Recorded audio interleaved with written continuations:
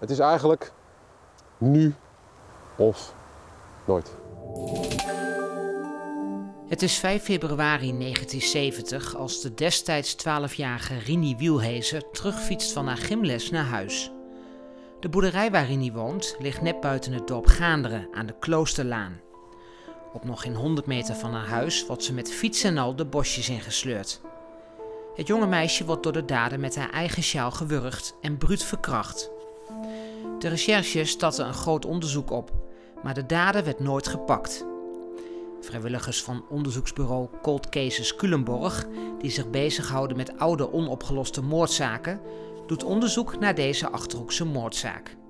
Alle zaken, alle moorden die zich voor 1 januari 1988 afspeelden, worden uh, niet meer door politie en justitie behandeld, verjaard.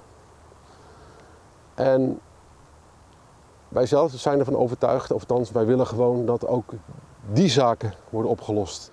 Dus daar willen we naartoe.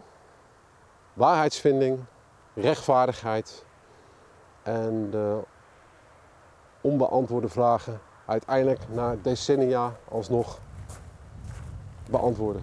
Afgelopen augustus kreeg het onderzoeksbureau een tip dat op het graf van Rini een zilverkleurig hartje was geplaatst met een klein berichtje.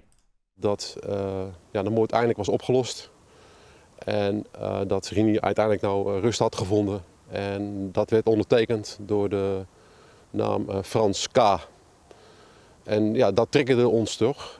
Dus vandaar dat we publiciteit hebben gegeven om in contact te komen met die Frans K. Om te kijken hoe hij dan komt dat die moord is opgelost. Het onderzoeksbureau heeft de man benaderd, maar tot op heden blijft het stil.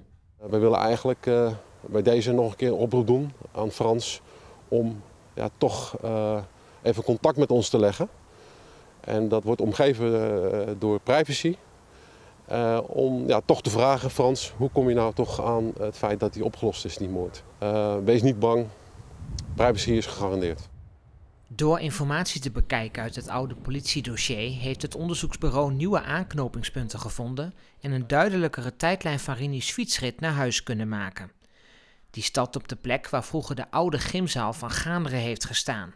Iets verder terug uh, was vroeger de gymzaal. En daar is Rini kwart over zeven, tien voor half acht op de fiets geklommen om uh, via de Vreelstraat rechtsaf de Kerkstraat uh, in te gaan op weg naar huis. Een scenario wil dat wij denken dat iemand Rini is gevolgd nadat ze de gymzaal heeft verlaten.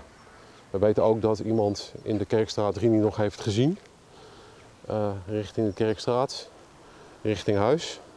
En wat we ook weten is dat uh, toen Rini de gymzaal verliet, hè, kwart over zeven, tien voor half acht, dat er toen uh, wat oudere jongens zich daar ophielden. En ja, die hebben onze aandacht. Het onderzoeksbureau houdt er rekening mee dat Rini een alternatieve route naar huis heeft genomen, waarbij ze niet over de Kerkstraat langs herberg het Onland is gefietst, maar over een zandpad die uitkomt op de Kloosterlaan. Dat zou ze gedaan kunnen hebben omdat de, de route wat uh, korter is dan en ze was al iets verlaat. Het is uh, des te meer deze alternatieve route uh, meer interessanter omdat mogelijk de dader die haar volgde deze route heeft genomen.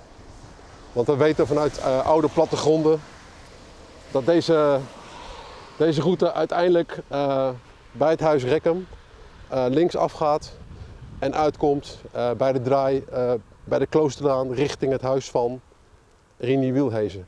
Een ander mogelijk scenario kan zijn dat Rini toch de fietsroute over de verharde weg heeft genomen en de dader de alternatieve route heeft gepakt om vlak voor Rini uit te komen op de Kloosterlaan.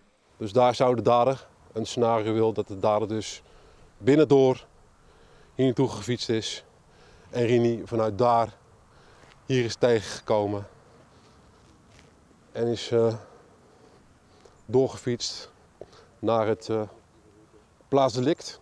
Uit het politiedossier komt volgens het onderzoeksbureau nog een onderbelichte zoekrichting naar voren als je kijkt naar hoe Rini om het leven is gebracht. Zo had men speciale aandacht voor mannen met een Indië-verleden in combinatie met een dubieuze reputatie op zedelijk gebied. De manier van opbinden, uh, daaruit zou je kunnen concluderen dat de dader een uh, verleden had, een Indië-verleden had, de politionele acties in Indië, of uh, andere werkzaamheden uh, deed die dat, deze unieke manier van opbinden rechtvaardigen. Daarnaast moet het iemand geweest zijn die lokaal bekend geweest is hier en ook een zedenverleden heeft gehad. Hoe groot acht je de kans dat deze zaak, ja, dat het boek gesloten kan worden?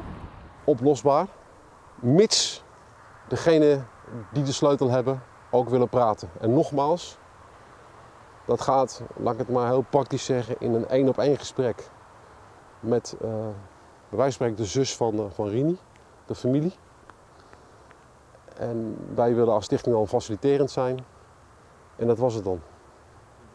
En uh, het is eigenlijk nu of nooit.